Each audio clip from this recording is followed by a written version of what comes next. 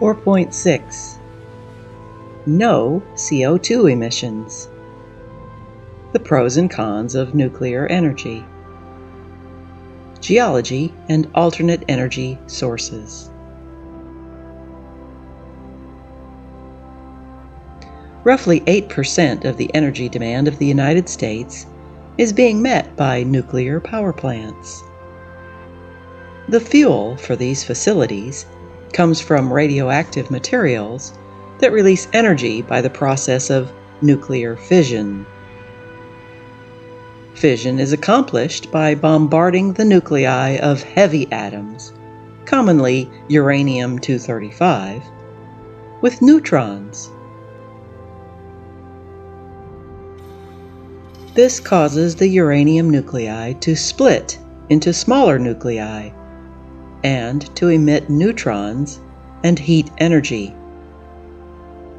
The ejected neutrons, in turn, bombard the nuclei of adjacent uranium atoms, producing a chain reaction. If the supply of fissionable material is sufficient, and if the reaction is allowed to proceed in an uncontrolled manner, an enormous amount of energy would be released in the form of an atomic explosion. In a nuclear power plant, however, the fission reaction is controlled by moving neutron absorbing rods into or out of the nuclear reactor. The result is a controlled nuclear chain reaction that releases great amounts of heat. The energy produced is transported from the reactor and used to drive steam turbines that turn electrical generators, which is similar to what occurs in most conventional power plants.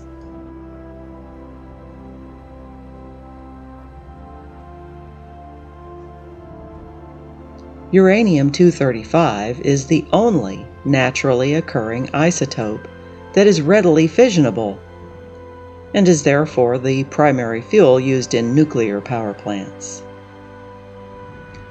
Thorium, although not capable by itself of sustaining a chain reaction, can be used with uranium-235 as a nuclear fuel although large quantities of uranium ore have been discovered. Most contain less than 0.05% uranium. Of this small amount, 99.3% is the non fissionable isotope uranium 238, and just 0.7% consists of the fissionable isotope uranium 235. Because most nuclear reactors operate with fuels that are at least 3% uranium 235, the two isotopes must be separated in order to concentrate the fissionable uranium 235. The process of separating the uranium isotopes is difficult, and it substantially increases the cost of nuclear power.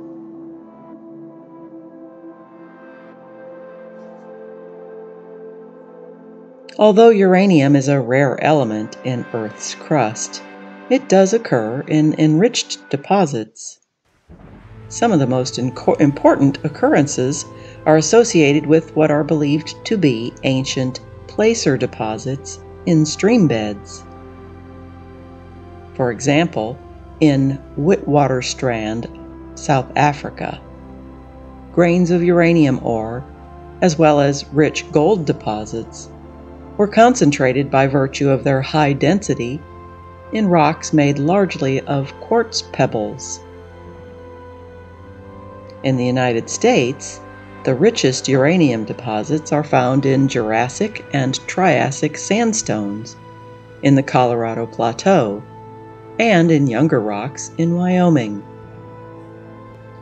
Most of these deposits have formed through the precipitation of uranium compounds from groundwater. Precipitation of uranium occurs as a result of a chemical reaction with organic matter, as evidenced by the concentration of uranium in fossil logs and organic rich black shales.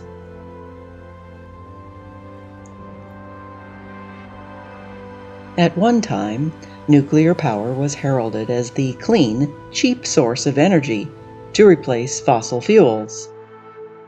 However, several obstacles have emerged to hinder the development of nuclear power as a major energy source. Not the least of these is the skyrocketing cost of building nuclear facilities that contain numerous safety features. More important, perhaps, is the concern over the possibility of a serious accident at one of the nearly 200 nuclear plants in existence worldwide.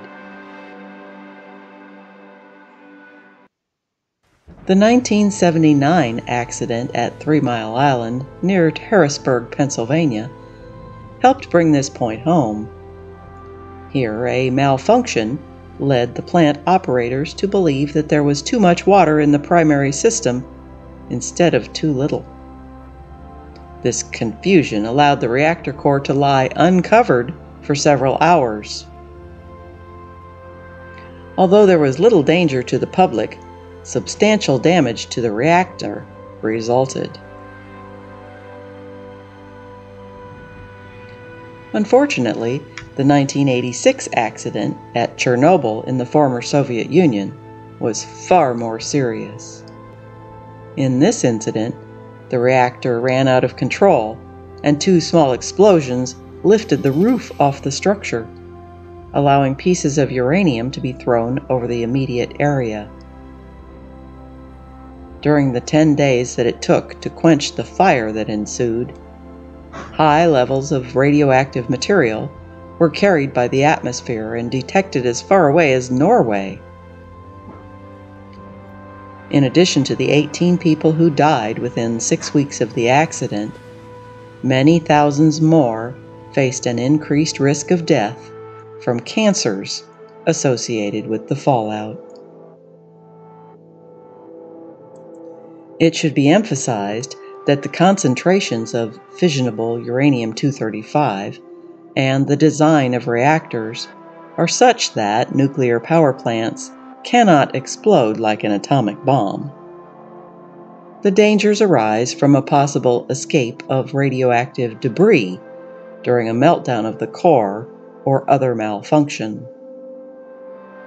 In addition, hazards such as the disposal of nuclear waste and the relationship that exists between nuclear energy programs and the proliferation of nuclear weapons must be considered as we evaluate the pros and cons of employing nuclear power.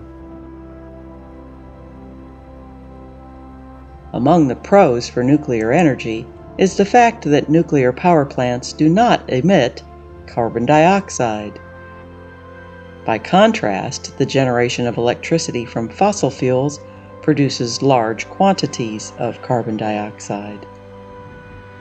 Thus, substituting nuclear power for power generated by fossil fuels represents one option for reducing carbon emissions.